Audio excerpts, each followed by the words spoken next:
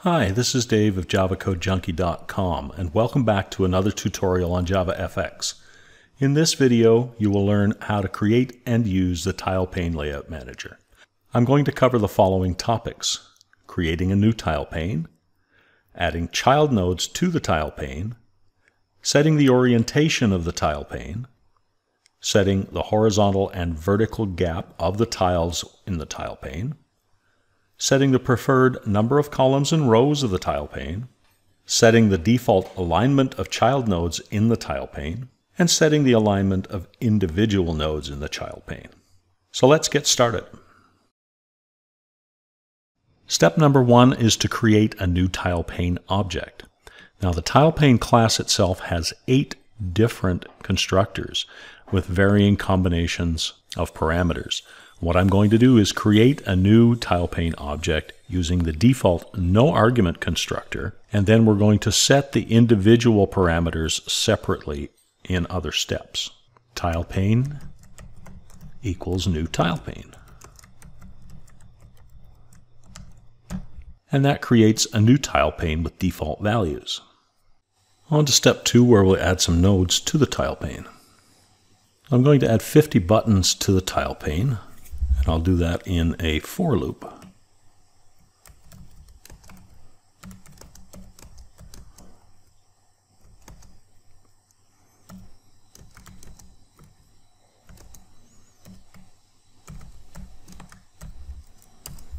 We'll create a new button.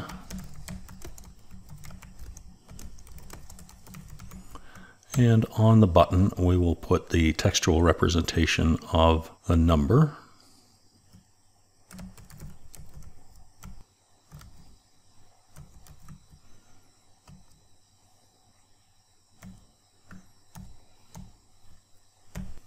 And we'll set the preferred width and height of the button to 50 pixels.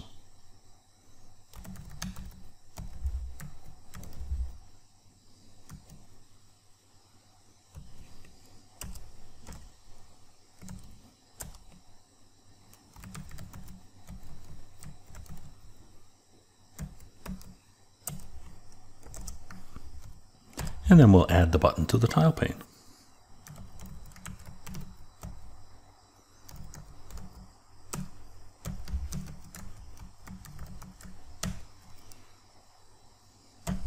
Let's run that and see how it looks. So we have a new tile pane with 50 buttons, and since the default orientation is horizontal and the default number of columns is 5, we'll see that it's divided into 5 columns of 10 buttons each. And next in step 3, we're going to set the orientation for the tile pane. Tile pane dot set orientation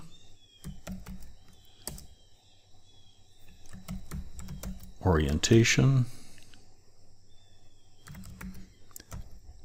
horizontal. Now this is the default orientation. So we run the program again. There should be absolutely no difference from the last time we ran. We should see five columns of 10 buttons each. So if we were to set the orientation to vertical,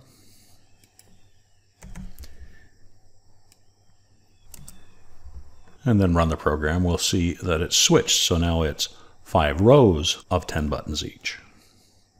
The default number of rows in a tile pane is also five. Step number four, we're going to set the horizontal and vertical gap between tiles.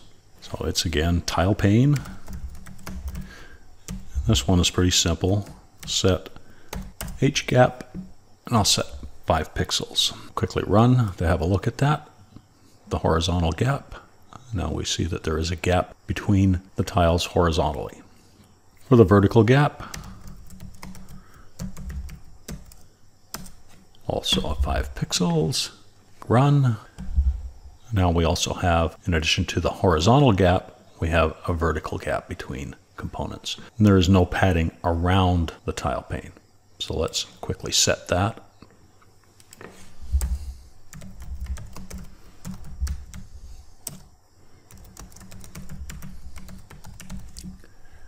10 pixels all the way around. Run to see the difference, and there's your 10 pixel padding around the tile pane. In step number five, let's look at setting the preferred number of columns and rows for the tile pane. Now, as I mentioned earlier, the default for both columns and rows is 5. So our current orientation is vertical, and you can see here that the default number of rows is 5. If we were to increase the size of the screen horizontally, nothing changes. But if we were to increase the vertical size of the screen, then you see that as we get more vertical space, more of the buttons that are in the tiles of the tile pane move down to create an additional row. And if we were to change our default orientation back to horizontal and run it again, we'll see that now we have five columns. Changing the vertical space has no effect on the number of tiles or the placement of tiles, but changing the horizontal space this time now increases the available space, and the tiles that were on subsequent rows now move up to occupy the space that we have created when we resized the pane. Since our current orientation is horizontal, let's change the default number of columns. Tile pane dot set preferred columns. We'll change it from the default of 5 to 10. Now let's run. Now we have 10 columns instead of the default 5.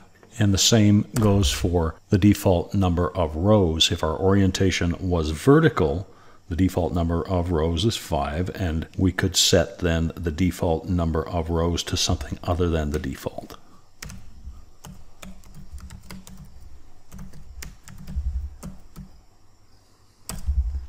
Let's 10 there as well. The key point to note here is that setting the preferred columns is meant to go with the horizontal orientation and setting the preferred rows is meant to go with the vertical orientation. Before we get to the last two items, first of which is to set the default alignment for all tiles within the tile pane, and the next one, which is to set child node alignment for single nodes within the child pane, what I'd like to do is to assign each of our buttons to an array of buttons so that I can better show you the alignment. And in order to do that, I need access to a handle on each of the buttons. So I've created up here a private instance variable, which is a button array. Down here, I will create the button array.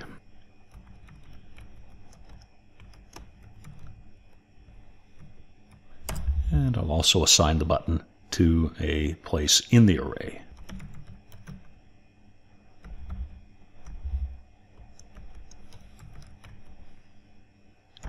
Since all of the buttons in the tile pane have the same height and width, it's impossible to differentiate uh, the alignment one button from the other because they fill the entire space for each tile. So what I'm going to do is change the size of one of the tiles so that you can better see the tiles that are around it. And what will happen when I change the size of one tile, the tiles for the entire tile pane will change to match the height and width of the biggest button in the tile pane. So let's just pop down here. And I'm going to change the height and width of the 25th button.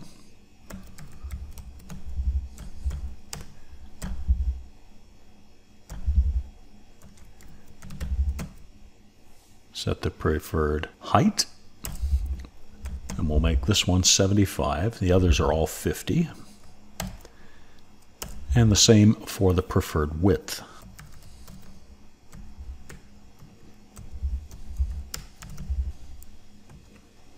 Seventy-five. And now if we run, you'll see the 25th is bigger. All of the other tiles in the tile pane have increased so that they are all the size of the largest button, which is 75 by 75 height and width. And you'll see that the default alignment for nodes in the tile pane is center. So you'll see that these on top and below the biggest of the buttons are centered within that button, and the same for those to the left and the right, they are centered. And so let's change the default alignment for all tiles in the tile pane.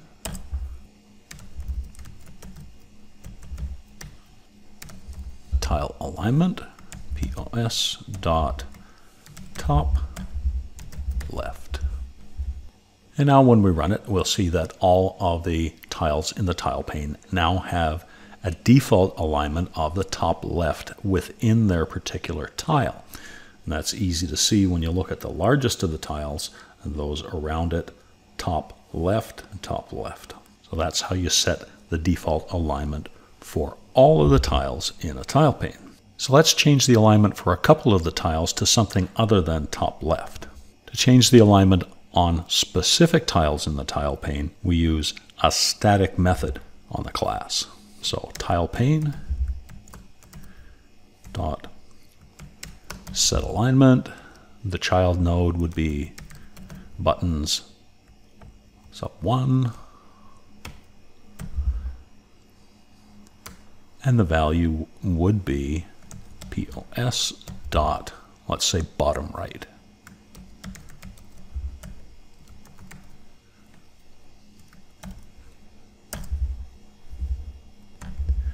Just copy and paste.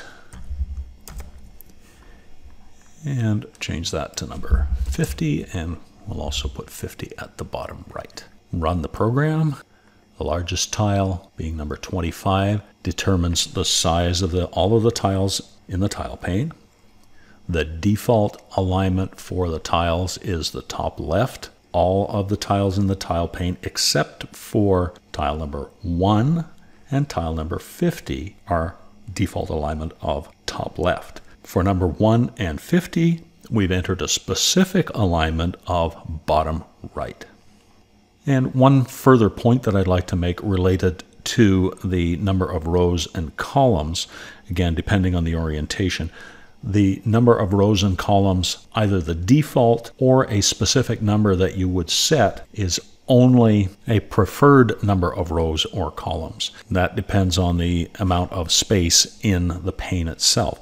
That number can change depending on whether or not the pane is resized horizontally or vertically. In this video tutorial, we successfully implemented a Java FX tile pane.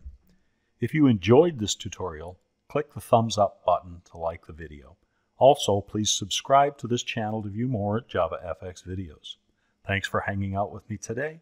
And until next time, stay safe and keep on coding.